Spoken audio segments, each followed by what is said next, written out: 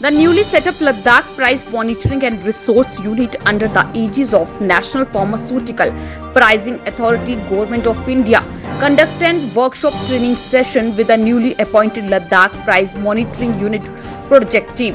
The training session focused on the central sector scheme of NPPA named Consumer Awareness, Publicity and Price Monitoring of Drugs in UT Ladakh.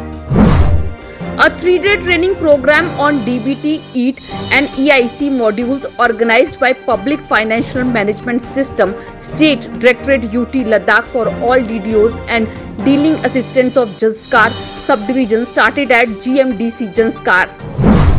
Rural Development and Panchayat Raj Department UT Ladakh in collaboration with CSIR CRRI started a training program on customized capacity building on advanced technologies use of waste plastic in road construction and road safety measures in Ladakh.